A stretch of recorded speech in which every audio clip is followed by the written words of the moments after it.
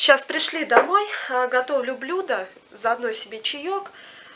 А, увидела у одного блогера, канал называется Саранча. На самом деле я готовлю мало по каким каналам, а, то есть по рецептам, да, чьих каналов. Как вам сказать?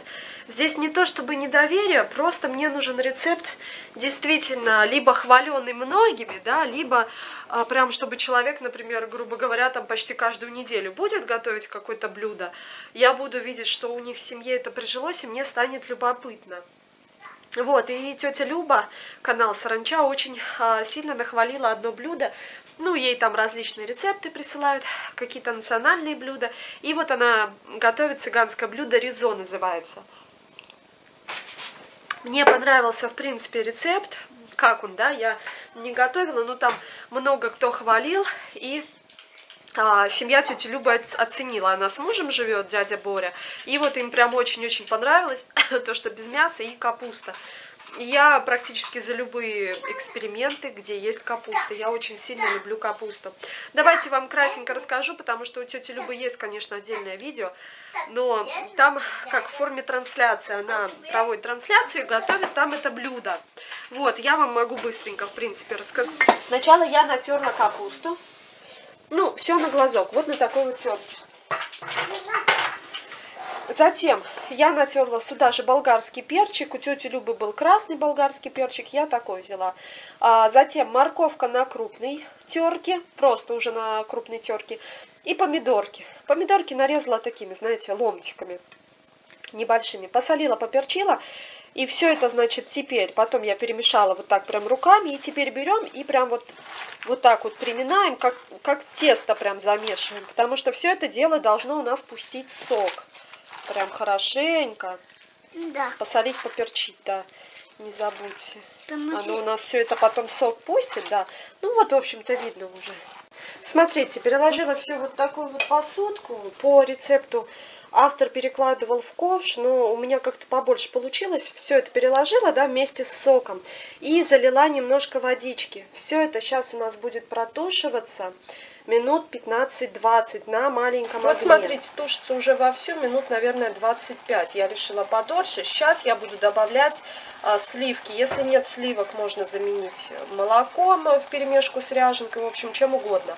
Где-то 200-200. Так, все, залила, пускай это еще тушится. И сейчас будем с вами поджаривать муку на сливочном масле. Дальше берем 3 столовых ложки сливочного масла. Вот как раз вот это дешевое масло, который, ну, написано, что масло, но... А, да, это спред. А, вот, где-то, ну, 3 столовых ложки, у меня, вот видите, получилось примерно полпачки. И 2 столовых ложки муки. Сейчас мы сначала растопим масло, потом добавим 2 столовых ложки с горкой муки и будем, значит, жарить, поджаривать. Пока консистенция не станет густой. Потом добавим нашу кастрюльку, пока у нас здесь вот тушится в сливках. Я газ еще поменьшила. Так, не показала вам, как я поджарила муку в сливочном масле. Все это быстро. Я перелила сюда, очень прям сразу классный аромат пошел. Все, и сейчас буду выключать, потом пробовать. Вот такая, такое красивое блюдо. Вот такое вот блюдо получилось. Сейчас буду пробовать. Я съела всю тарелку, прошу прощения, я просто, чтобы камеру в руку не брать, я здесь рядышком, я съела всю тарелку этого блюда. Это очень-очень вкусно и очень удивительно. Знаете, капуста, она как а, сливочная, у нее такой интересный привкус. Ну, это совершенно даже не тушеная капуста. Очень, правда, вкусно. Единственное, знаете, мне показалось немножко кисловатой, но, возможно, за счет того, что у меня помидоры кислые я бы добавила еще туда сахарку. Но это правда очень вкусно, это очень сытно. Также я подумала, что сюда было бы и мясо нормально добавить. Но это прям уже, знаете, отдельное блюдо. Его даже ни с чем не есть, потому что уже вот тарелочку я съела. Вот такую вот. И вполне наелась. А, сыр можно добавить.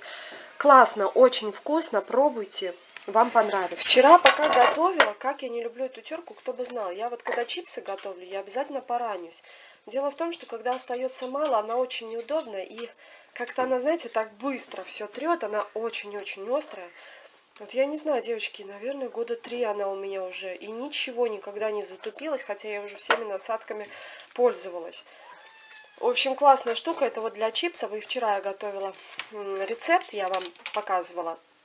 И, в общем, как всегда, я поранилась. Ну, ладно здесь. В общем, я вот здесь вот поранилась так, что с меня кровь прям я три бинта меняла. Но, знаете, у меня, если идет кровь, то ее очень много. Не знаю, как это вот э, называется в организме, это состояние.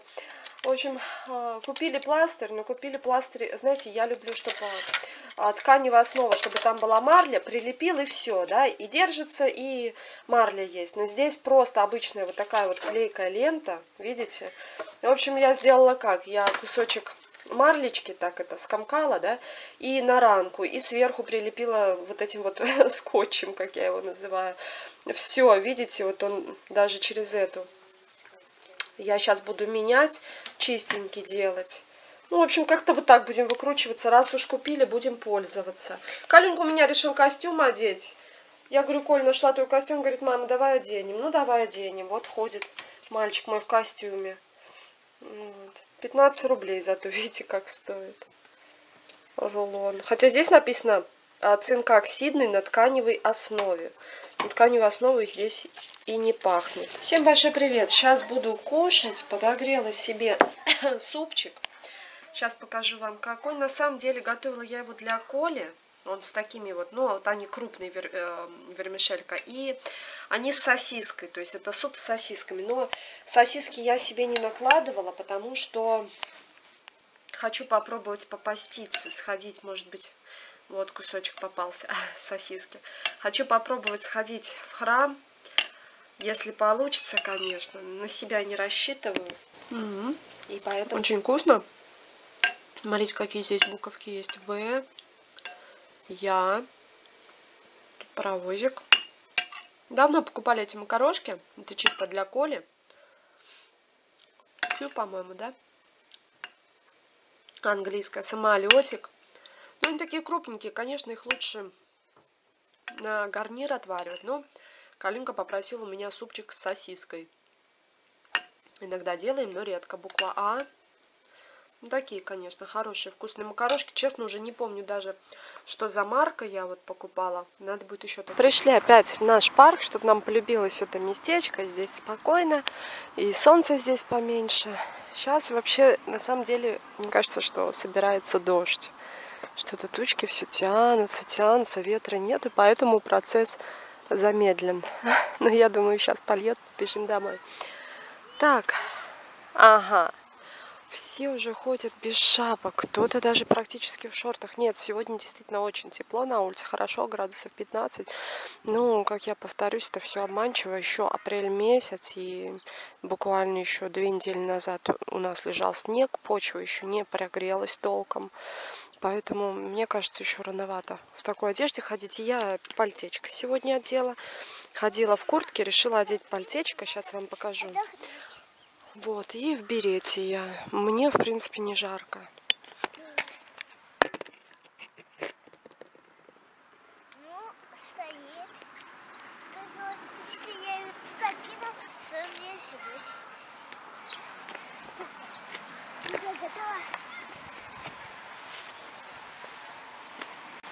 Взяла с собой блокнотик, это типа как ежедневник. Ну, я как-то, знаете, не любитель особо планировать, что-то записываю. По чуть-чуть еще и на будущий год его хватит. Я сейчас записываю, что мне надо купить а, в дом, что мне надо купить в фикс-прайсе. Вот. Что надо, то есть в фикс-прайсе, да, отдельно. И что надо купить на этой неделе, какие продуктовые покупки, да, что у нас закончилось. Завтра едем. Еще заходила в аптеку, взяла нафтизин. У нас нафтизин по 11 рублей, 15 миллилитров. А, производители разные, поэтому цены разные. И даже дело не в производителях. Я заметила в каждой аптеке, в каждой сети, если это сеть, свои цены. А, странно, я уже знаю, где, где можно подешевле купить, где подороже. А что касается больничных а, аптек, то по моей практике в больничных аптеках всегда все дороже. Ну, бывает что-то по такой же да, цене, в общем, но обычно все с наценкой. И вот я, когда ездила лечиться в нашу э, районную больницу, которая находится в Оренбурге, мне сам врач, когда прописала лекарство, она говорит, здесь не берите, потому что здесь большие наценки. Поищите лучше в городе, если знаете аптеку какую-то. Вот, Оренлек. У нас вот в Оренбурге многие считают, что это самая дешевая аптека. Нет, это не самая дешевая аптека. А, в общем, я нашла такой, знаете, аптечный пункт. Это даже не сеть, он, по-моему, даже без названия, где реально цены дешевле. Ну вот, например, покупала я лекарство одно за 780 рублей в больничной аптеке, а там это лекарство стоит, например, 650. То есть 100 рублей разница минимум. А то даже нет, даже больше 100 рублей мне экономия вышла.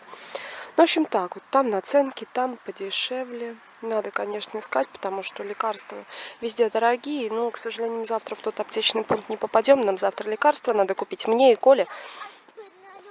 Вот, и по попробуем там, где мы будем. Мы еще в другой конец города едем.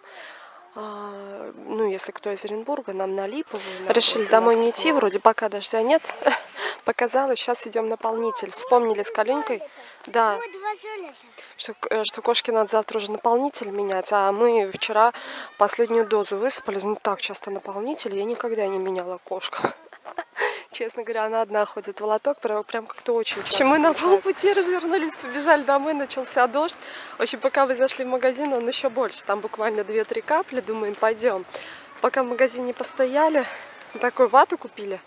А, Калюнька любит, кстати, надо будет в фикс-прайсе попробовать. Вот эта вата стоит 20 рублей.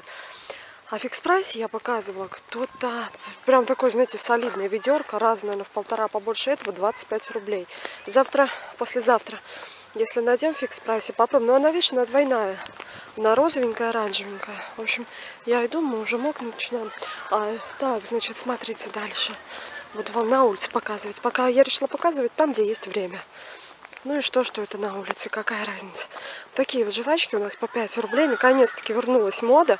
Еще буквально в прошлом году летом я, в общем, в каком-то косметическом магазине нашла эти жвачки и вам, по-моему, рассказывала, что они сейчас вообще пропали, нигде их нету. Ну, в общем, все стали продавать теперь в магазинах. Вернулась былая мода по 5 рублей. Одну себе, другую Коле. И, Калин, держи вату. И сейчас покажу вам еще. Взяла я такой вот салатик из морской капусты дальневосточной. Это консервы, подножки колень. Это новосибирское производство, 25 рублей.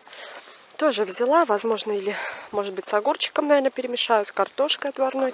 И получится классный постный салатик. У меня как раз все есть. Что покупать больше не надо. 220 грамм. Нормальная, в принципе, я думаю, цена. Вот, все, побежали домой. Ну вот, только вчера показывала вам отличную погоду. Первый день прям такое значительное потепление. И тут на тебя, пожалуйста, дожди. Завтра причем тоже обещают дождь, когда нам ехать в город. Значит, нам вообще на дожди везет. Сейчас в больницу надо сходить за карточкой. Колиной. И надо бы еще зайти купить наполнитель для кошки. Ну, посмотрим по погоде. Вроде как дождь не сильный. Вот, сейчас чаек попью, лекарства тоже выпью. И варю борщик. Поставила кость свиную, прям такую. Продается у нас здесь за килограмм 40 рублей. И они не просто кости, там мясо, в принципе, вы знаете, очень даже немало так для костей за 40 рублей. И прям такие навар... наваристый суп получается с этими костями. Вот. Поэтому будет сегодня вкусный супчик у нас.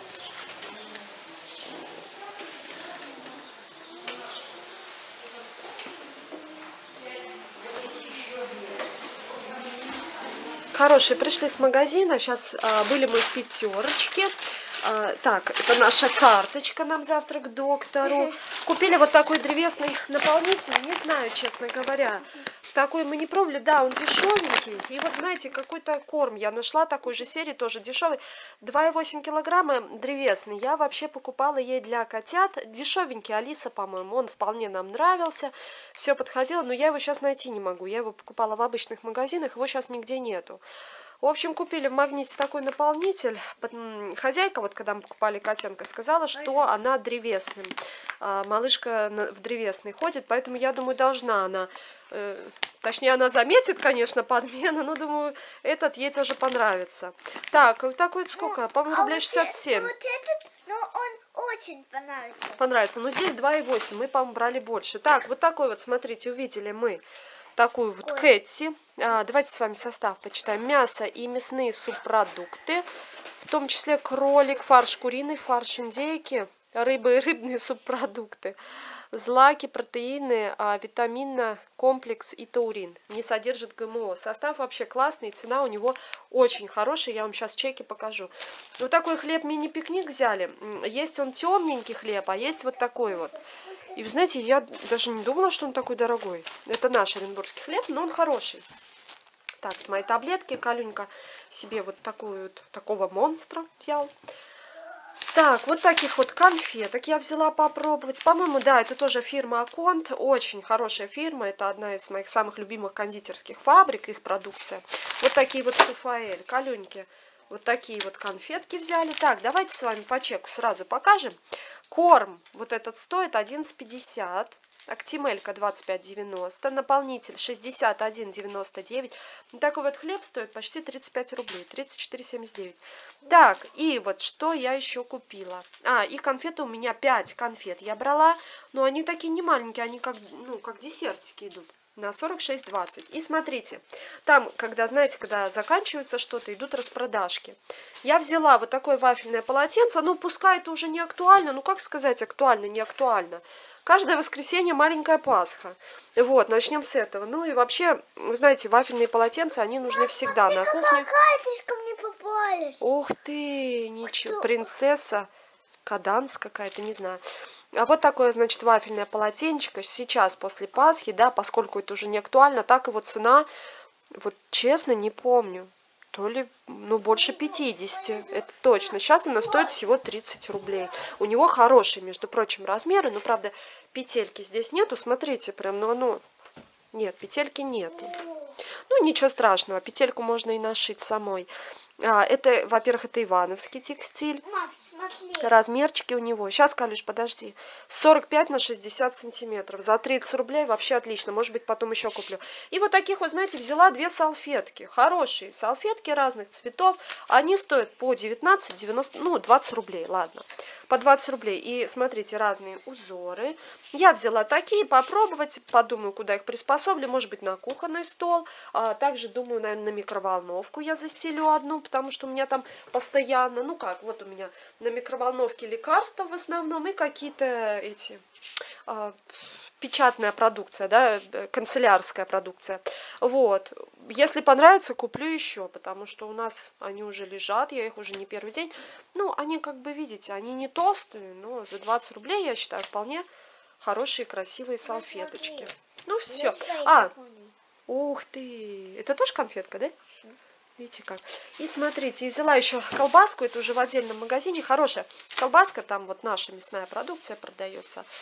Такой вот батончик, я даже не знаю, как она, она, видите, даже без названия. Ну, она обычная пайка. Обычная палка колбасы, действительно. Девян- на 90 рублей Прямо вышла, хорошая.